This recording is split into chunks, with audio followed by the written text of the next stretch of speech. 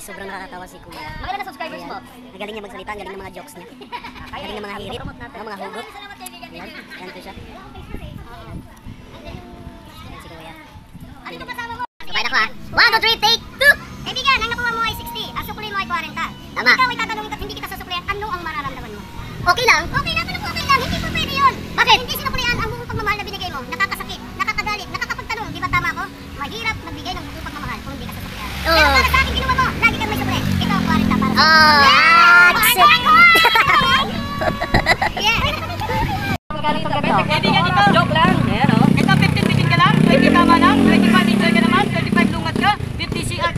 ka, 100 yung patcho ka, 200 pinaglalamayan ka na.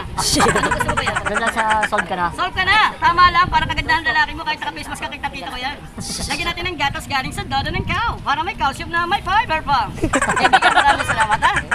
Okay, akin ang karangalan, di ba kaibigan? Ayan o. Yes. May Kaibigan. jokes ka kuya? Ha? Mga joke? Oo naman, anong mais ang lasang ice cream? Ano Ano, kaya, anong mais ang lasang ice cream? Ano? Ano? Hindi mo alam? Eh di corneto. anong mais? Anong mais kaibigan ng malaki at higante? Ano po? Hindi mo alam? Hindi! Hindi ito nag-iisip. Walang ito kundi ang Capricorn. Yeah! Capricorn! Anong mais ang lalaki? Ano po? Hindi mo alam din? Hindi din. Ay, di, maestro. Maestro! Anong mais ang babae? Maestra. Oh, alam na yan! Maestra! Ay, ano namang mais ang simpatiko, maginoo, talentado at gwapo? Ano po? Anong ikaw?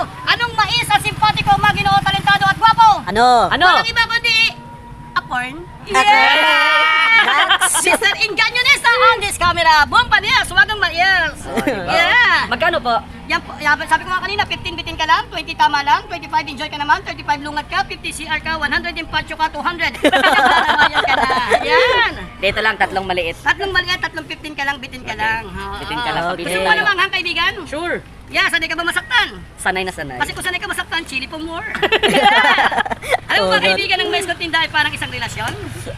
Tanong mo kung bakit? Bakit? Masarap pag mainit at matamis. Ngunit kapag yung iniwan, nalalamig at napapanis. Oh, Yeah! di ba? Yung nalalamig pwede pag manumbalik. Pero kapag napanis ang nararamdaman, kahit makipagbalikan. Move on na siya, di ba? O, di ba guys, the Ah. best? The best si Manong Yeah. eh. Anong channel mo. kaibigan? Ah, RG Maglangit Official. RJ Marganit official. Bakit wala pang wala pang hindi official? Wala.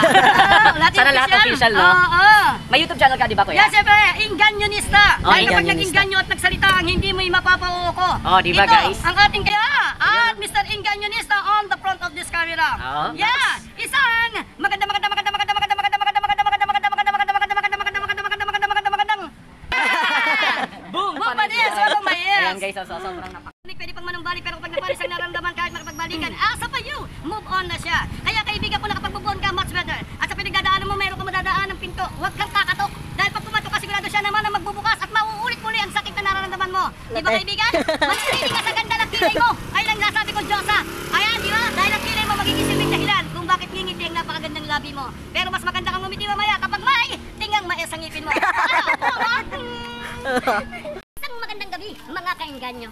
Mula sa bidyong ito ay katabi ko ang isang Diyos ang pinagmamalaki ng lugar nilang ito. Hilay pa lamang siguradong maiibigan mo na ng gusto.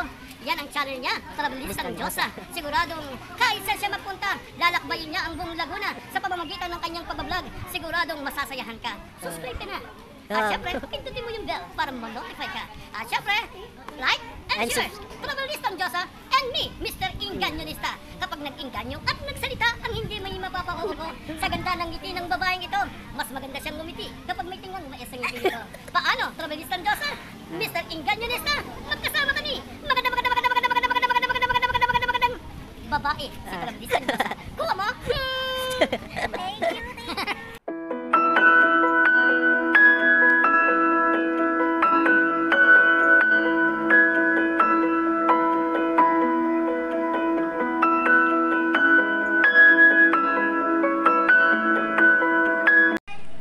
And guys, this is the end of our journey today. Yan. Our gala-gala. So hanggang sa muli guys.